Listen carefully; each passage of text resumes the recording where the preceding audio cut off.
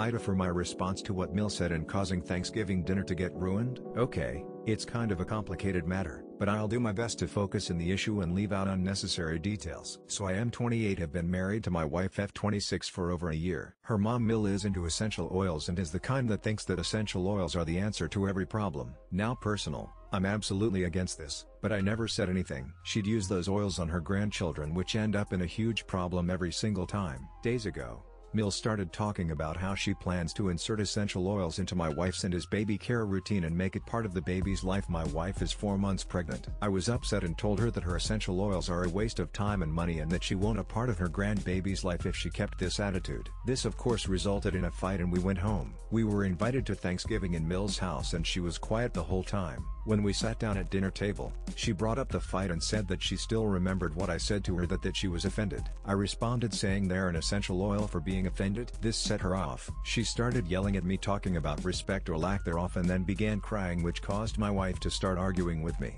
Her dad joined in and there was a huge scene at the table. Dinner was cut short and we had to go home. My wife kept berating me saying I was out of line and had no right to disrespect her mom and mock her and her love for essential oils like that. I tried explaining myself but she still thought I ruined dinner and hurt her mom's feelings. Now I'm expected to give a formal and public apology where I tell MIL I'm sorry in front of the whole family and record it as well I have no idea what the recording is for, but I said no. I'm currently being guilty big time and called all types of nasty names from my in-laws. I'm thinking maybe I was the a-hold here and went out of line and ruined Thanksgiving for the whole family?